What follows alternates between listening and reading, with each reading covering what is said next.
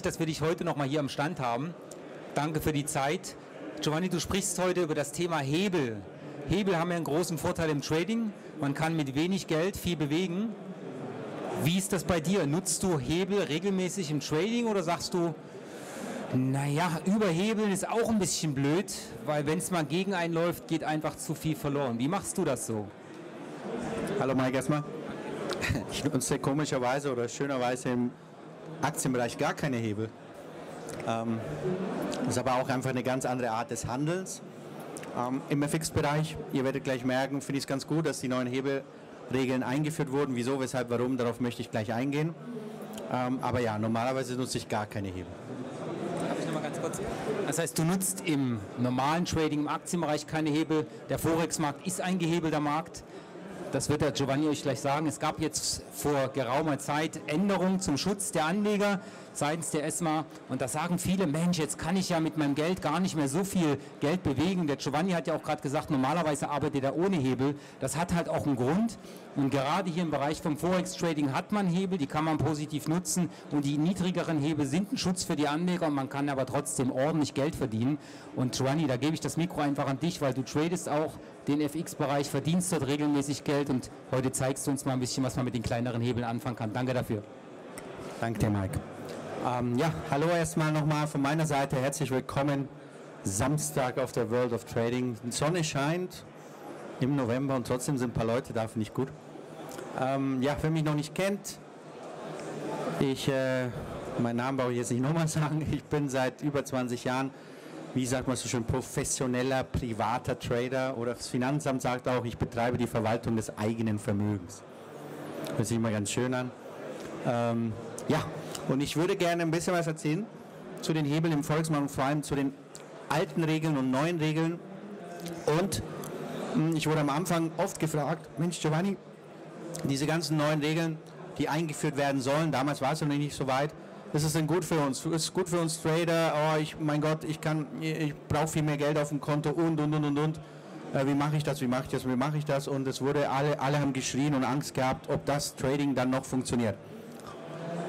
Und deswegen wollte ich mal ein bisschen drüber reden. Hier ein kleiner Risikohinweis, der muss sein.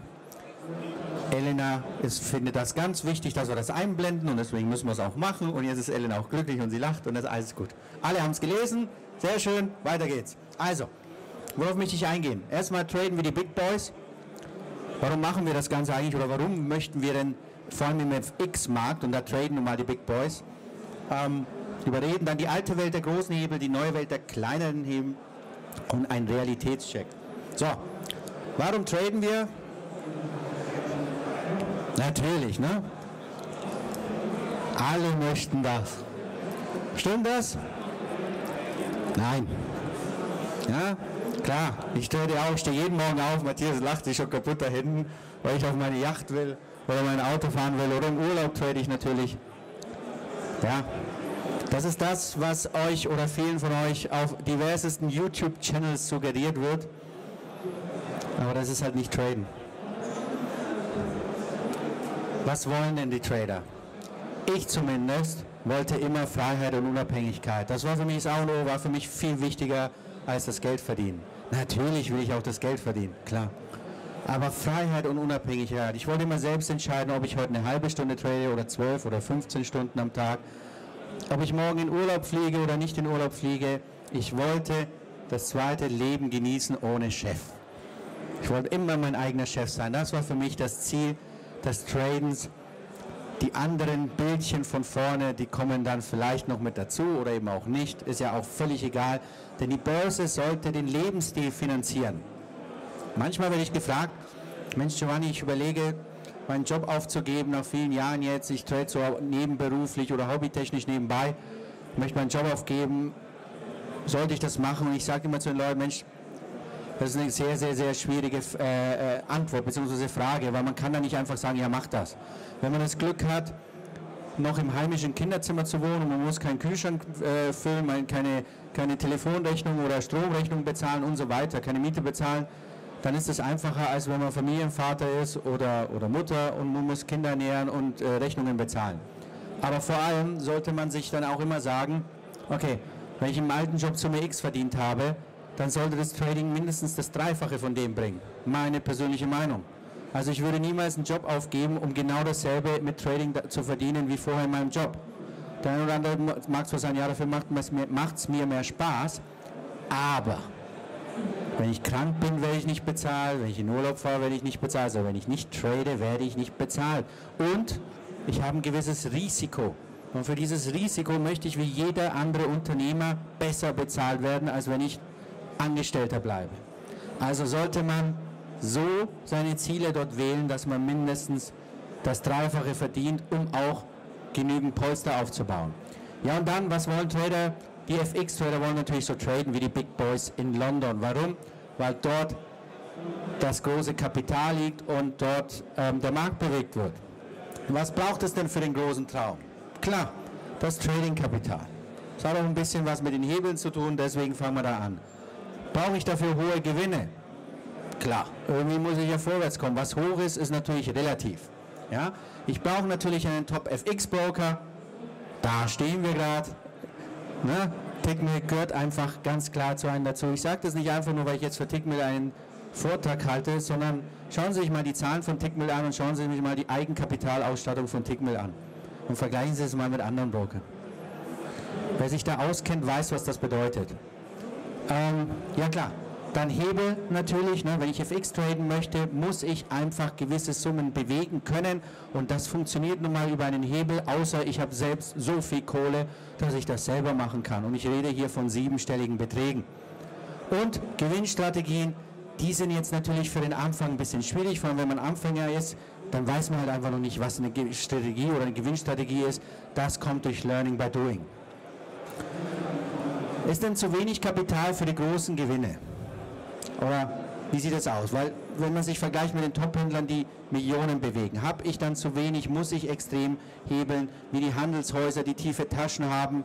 Ähm, haben wir denn als private Trader gegenteilige Voraussetzungen? Also fehlt mir denn das Kapital für die großen Positionen, warum ich unbedingt auf Hebel oder Margin zurückgreifen muss? Ja? Also, was bleibt mir übrig als normaler privater Trader? Ich muss irgendwie mein Vermögen größer handeln können. Ja, egal wie, erstmal brauche ich Hebel. Oder ich spare. Wenn ich das Glück habe, sagen wir, einen Daddy zu haben, der oder Ressourcen zu haben, die immer wieder das Konto nachfüllen können, wenn es weg ist, brauche ich, muss ich andere Wege finden. Kredit aufnehmen. Jetzt würde mich mal interessieren, wer von Ihnen hat einen Kredit zum Traden aufgenommen? Sehr schön. Früher gingen da zig Hände hoch. Das war früher ganz normal. Ja, warum? Ja klar, die paar Prozent Zinsen, die ich da zahle, hole ich da an der Börse locker raus. Mhm. Ja, ja. Ich sag nur neuer Markt, ne? Ja. Nein. Also, Top-FX-Broker finden und Hebel nutzen. Jetzt gehen wir mal ganz ähm, auf die alte Welt der großen Hebel. Also, was da passiert? Ich konnte natürlich mit dem Hebel das Handelskapital erhöhen. Das war damals noch und nöcher möglich das, äh, der Handel auf Margin spart Eigenkapital. Ne? Durch den hohen Hebel habe ich natürlich einen extrem wenigen Kapitaleinsatz gehabt. Ja? Also was ich mit einem 5000 Euro Konto machen konnte, darauf komme ich gleich. Und dadurch konnte ich als Privater viel höhere Positionen eingehen. Höhere Positionen, logisch, wenn ich auf der richtigen Seite liege, höherer Gewinn. Ganz klar. Ja? So, Gewinn aus der Hebelposition fällt höher aus. Hier Beispiel dazu. Bis Juli 2019 durfte ich tatsächlich mein Konto 500 zu 1 hebeln. Super. Jackpot. Vor allem, wenn man da mal so 10 oder 20.000 auf dem Konto hat, dann macht es richtig Spaß. Ja? Ähm, für die Hauptwährungen zumindest. Also ich konnte mit einem 5000er Margin-Konto zweieinhalb Millionen bewegen. Das ist das, was der Trader braucht. Das ist das, was der Trader braucht, um mit den Big Boys mithalten zu können. Ne? Mhm.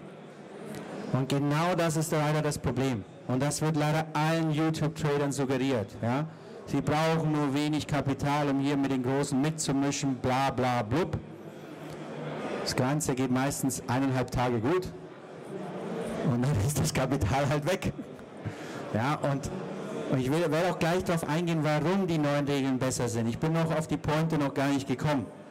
Also, der ungehebelte Forex-Trade, sowas soll es auch geben, der sieht ja so aus. Ne? Wenn ich jetzt einen Aktientrade ungehebelt mache oder einen Forex-Trade ungehebelt mache, dann kaufe ich für 5000 Euro einen Euro-Dollar, so wie es da steht, verkaufe den wieder, mache 50 Dollar Gewinn beziehungsweise 45, das ist ja langweilig. Bis da mein Konto steigt, bis ich da davon, davon leben kann, das dauert ja ewig. Aber so ist es normal, ein ungehebelter. Der gehebelte Forex Trade, der sieht schon viel netter aus. Wenn ich das einmal mache, dann kann ich gut davon leben, zumindest von dem Gewinn. Jeden Monat. Reicht zum Überleben. Nein, ne? also Sie wissen, glaube ich, oder Sie verstehen, worauf ich hinauskomme, weil ich hinaus möchte, dass das natürlich auch mit extrem viel Risiko verbunden ist. Also, hohe Kapitalhebel sind ein starkes Werkzeug, um die Performance des Traders deutlich zu erhöhen, aber geht der Plan nicht auf, bergen Sie auch hohe Risiken. Logisch. So. Kleine Hebel, Entmündigung oder Chance. Also, was waren dann die Regeln, die eingeführt wurden? Maximal 30 zu 1 auf Hauptwährungen. Den Rest können Sie selber ablesen. 10 zu 1 auf Rohstoffe. Ich weiß noch ein paar Goldhändler, die gesagt, ich kann jetzt kein Gold mehr handeln. Aber ich gesagt, dann, dann handelst du physisch, das geht ja auch nicht. Ja, und ich so, ja, aber da musst du jetzt durch. Es ist nämlich im Endeffekt besser für dich. Also mit einer 5000er Konto kann ich nur noch 150.000 traden, ohne Einbezug der Margin Closeout Regel. Wenn ich weiß, was eine Margin Closeout Regel ist, auch eine neue Regel, die eingeführt wurde, um uns Anleger oder uns Private zu schützen. Früher konnten die Leute so weit die Margin ausnutzen, dass nur 10% übrig war und dann musste mal der Broker einschreiten und die Position vielleicht mal glattstellen. Mittlerweile ist es so, dass der Broker schon bei 50% Verlust, also Margin-Auslastung, einschreiten muss. Leute, das ist eine der interessantesten und wichtigsten Regeln, die eingeführt wurde, weil diese verhindert nicht nur Kapitalverlust, sondern auch, dass man sich mehr, also dass man mehr als sein Kapital verliert und am Ende noch zuschießen muss oder nachschießen muss. Und das mussten wirklich viele, viele Privatanleger. Aber das ist immer noch nicht der Grund, weswegen ich die Hebel, die, besser, die neuen Regeln besser finde. Also, es wurde eingeführt, negativer Saldoschutz. Wie gesagt, das kam durch die Margin Closeout-Regel. Standardisierte Risikowarnung und keine Handelsanreize. Warum?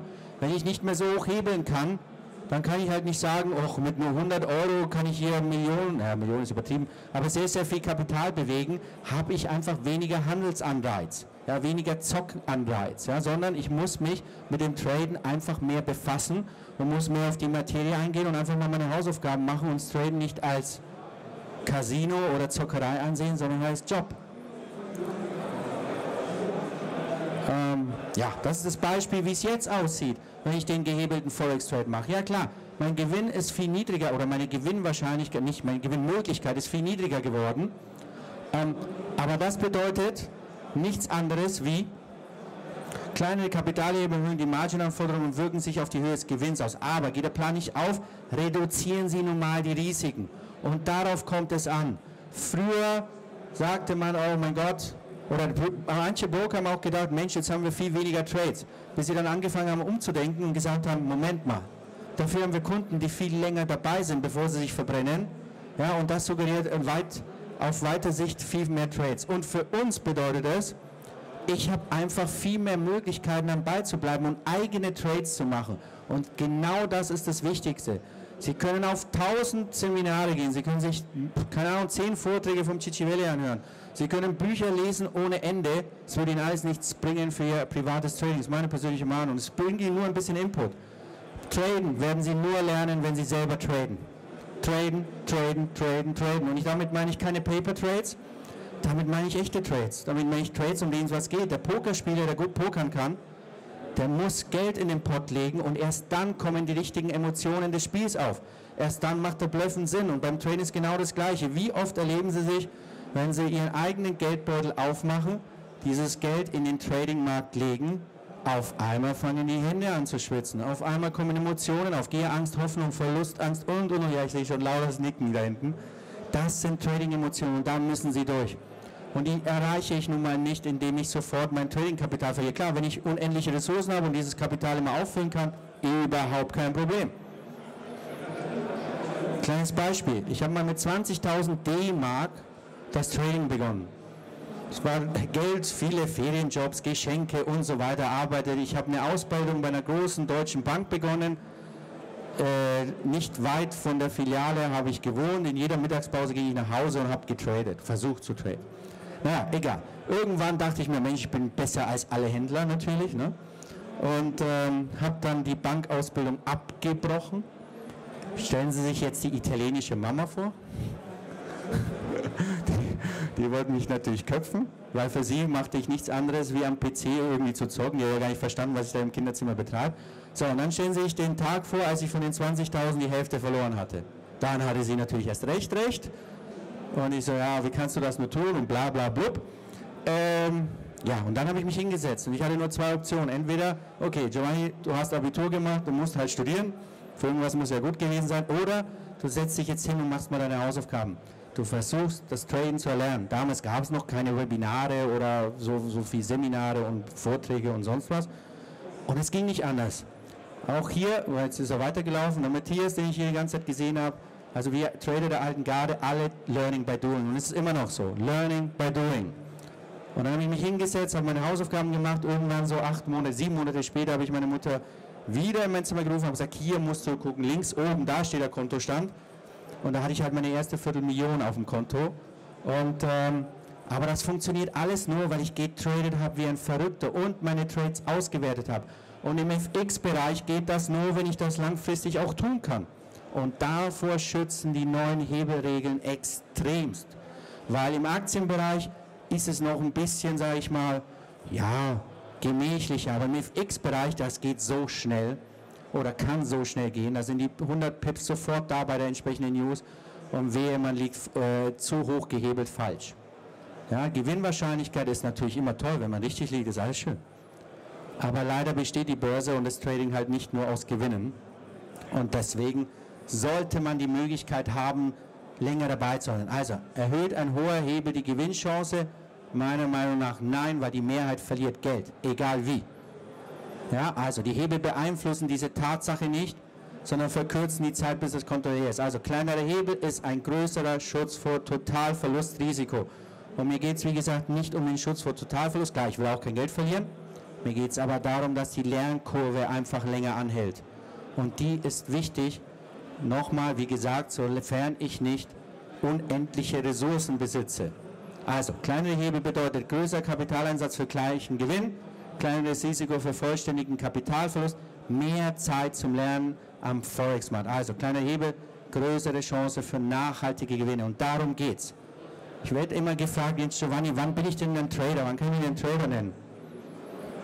Wie viel Gewinn muss ich da machen? Ja? Ich sagte immer, du musst einfach nur keine Verluste mehr machen.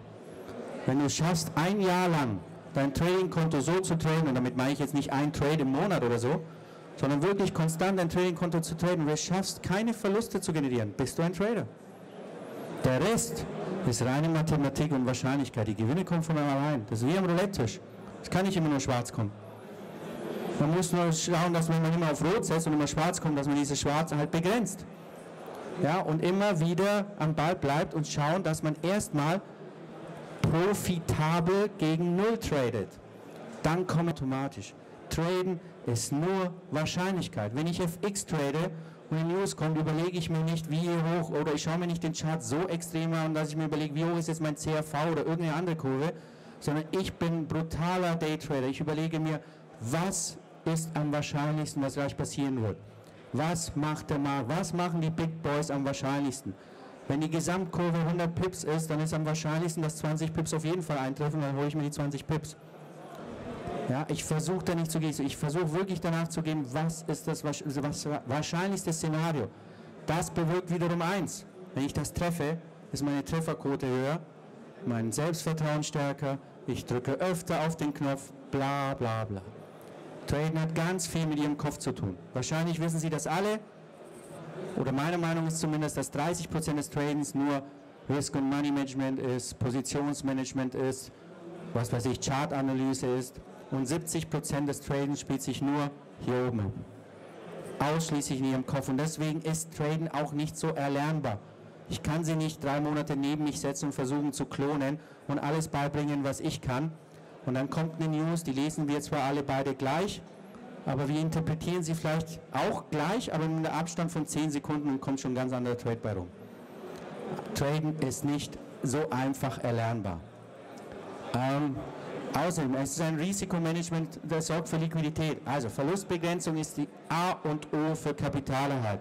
Ist mir ganz wichtig. Ich hätte auch reinschreiben können, schütze dein Handelskapital. Wie jeder Handwerker, der sich die teure Hilti-Bohrmaschine kauft, der schützt sie, der pflegt sie, der arbeitet mit der, macht gute Arbeit und pflegt sie.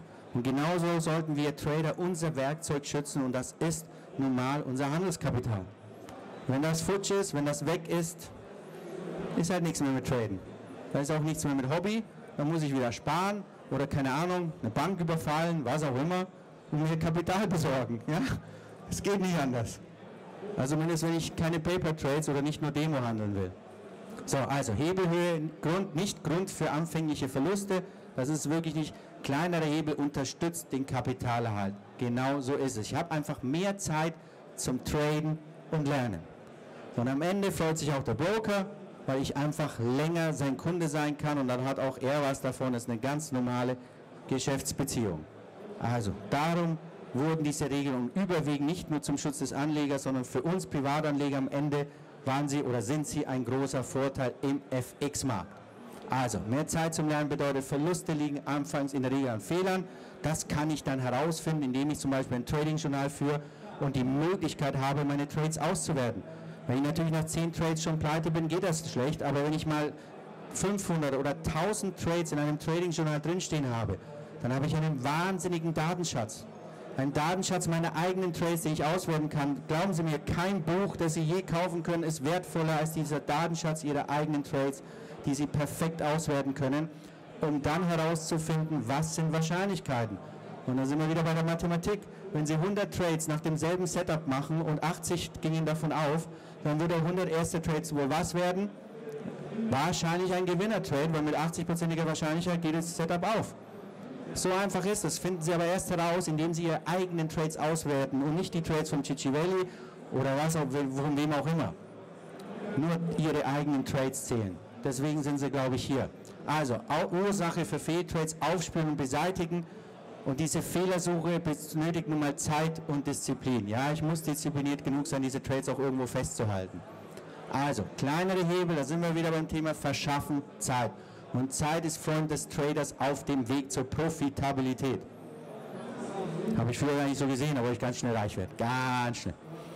Ja, aber mittlerweile sehe ich das ein bisschen anders und das ist tatsächlich wahr, aber das kommt auch mit der Zeit, die Erfahrung. Also die Fehler des Tradens, Gier und falsche Vorstellungen.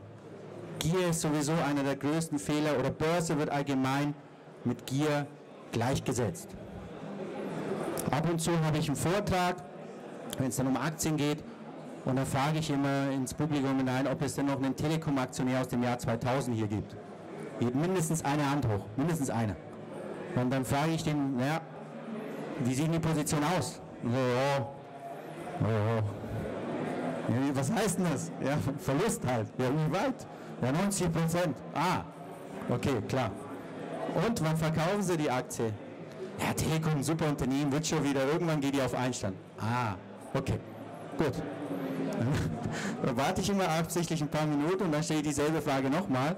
Stellen Sie sich vor, Ihre Sparkasse Buxtehude, nichts gegen die Sparkasse Buxtehude, ruft Sie morgen an und gibt Ihnen oder bietet Ihnen 5% Tagesgeldzinsen jederzeit äh, abbildbar, verfügbar an. Ja, was machen Sie zu den heutigen Negativzinszeiten? Ich nehme alles Geld aller Konten, das äh, unterm Kopfkissen, ich packe alles zur Sparkasse Buxtehude. Wo bekomme ich denn bitte 5% Zinsen? Aha, hat er ja recht. Also, bei der Sparkasse begnügt er sich mit 5%, aber an der Börse erwartet er 9, äh, 9000, nee, 900 900% an der Börse. Das ist halt die Gier. Börse wird einfach mit unglaublichen Gewinnen suggeriert. Man kann schnell reich werden, also falsche Vorstellungen. Leute, Börse ist ein Job wie jeder andere auch. Wenn man ihn richtig machen will, muss man seine Hausaufgaben machen, aufstehen, äh, was auch immer die Hausaufgaben aussehen. Die können auch nur eine halbe Stunde am Tag sein. Ja? Jeder hat eine andere Fasson, jeder hat eine andere Strategie, aber es ist einfach eine andere Vorstellung. Dann die Fehler sind natürlich auch ein fehlendes Risikomanagement. Es gibt tatsächlich immer noch Leute, die ohne Stops oder mentale Stops oder überhaupt, ja, geh halt mal rein und schau mal, was passiert. Und dann sind sie im Plus, dann geht es im Minus. Ja, die dreht schon wieder. Mhm. Also Modus Hoffnung, ne, die typischen Emotionen. Unzureichende Marktkenntnisse, sowas soll es tatsächlich noch geben. Ja, der Chart, das sieht doch gut aus, gehen wir mal um. und so weiter. Also heutzutage, aber das sind Sie alle hier, Sie, Ihnen fehlen, glaube ich, nicht die Marktkenntnisse. Sie wissen, wo Sie sich informieren sollten und wo man äh, äh, Infos über den Markt bekommt. Damit meine ich keine Candlestick-Analyse oder sowas, sondern wirklich aktuelle Informationen über den Markt. Ja, und dann klar, keine Erfahrungen mit funktionierender Strategie kann man am Anfang auch nicht haben, muss man herausfinden mit der Zeit und Zeit hat man, wenn man genügend Kapital hat, wo man auch traden kann und äh, ähm, ja, was nicht äh, schnell weg sein kann. Also Verluste verhindern bedeutet Gewinne erhöhen. Ist das denn so? Sehen Sie es auch so? Wenn man Verluste verhindert, erhöht das die Gewinne. Ja? Prinzipiell ja. Nicht unbedingt. Also für mich ist es, wie gesagt, wie ich vorhin schon sagte, ein Gewinn, wenn ich langfristig keine Verluste mache, also positiv null tendiere. Und die Chance muss ich haben. Also wenn ich Zeit gewinne, habe ich schon einen Gewinn. Der Rest kommt dann automatisch über die Erfahrung. Ja, versuchen Sie bitte nicht von heute auf morgen an der Börse reich zu werden. Es kann vielleicht mal funktionieren, aber das sind die Ausnahmen. Oder wenn Sie diese Schlagzeilen lesen, sind das die absoluten Ausnahmen. Oder diese typischen Leute, die Aktien behalten haben, die 10.000 Prozent im Plus liegen. Ja? Klar, wenn ich langfristig Investor bin und gut verdiene und meine Aktie gekauft habe, aber wir Trader oder, oder wir Börseninteressierte, uns, uns juckt es immer in den Fingern, aber wenn Sie eine Position haben, die 100 oder 200 oder 300 Prozent im Plus ist, juckt es Ihnen so sehr in den Fingern, dass Sie verkaufen. Das ist normal für den Menschen, der ist so ausgelegt. Also die wenigsten Leute halten eine Position 10.000 Prozent oder plus. Das gibt es viel zu selten. Mal geschweige denn von Aktien überhaupt so, steig, äh, so stark steigen in kurzen Zeitraum. Also, Ah, nee. Ja, genau. Hier hatten wir ja die Verlustmöglichkeit, um es nochmal gegenzusetzen. Ne? Wenn ich einen gehebelten Trade mit Verlust mache, mit den alten Regeln, dann ist mein Konto halt sofort platt. Das ist ein einziger Trade und ich musste auch noch nachschießen. Ja, von 5000 Euro habe ich 12.500 verloren, also 7.500, nee, Entschuldigung, Euro 11.520, also ich musste über 6.000 Euro nachschießen. Das war früher ganz normal. Jetzt habe ich es halt nicht mehr. Jetzt sind, verliere ich die nur in Anführungszeichen 345 Euro. Also ich mag auch keine 345 Euro verlieren, äh, da bin ich schon schlecht gelaunt. Aber ich zerschieße mich halt nicht oder mein Konto und ich habe die Möglichkeit halt weiter zu traden und weiter Erfahrungen zu sammeln und zu lernen. Und das ist das Wichtigste der neuen Regeln. Also, Trade-Verlusthebel war das, äh, dieser hohe Zahl, jetzt sind es halt viel weniger. Die ASMA-Regeln schützen private Trader, die noch nicht profitabel handeln, vor schnellen, massiven Kapitalverlusten.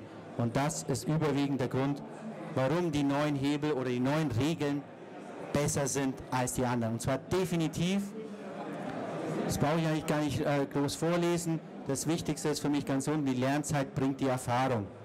Traden, traden, traden, traden, traden. Ich kann nichts anderes sagen. Und dabei bleiben, diszipliniert sein, äh, seine Trades auswerten und eben äh, seine Strategie finden. Zack!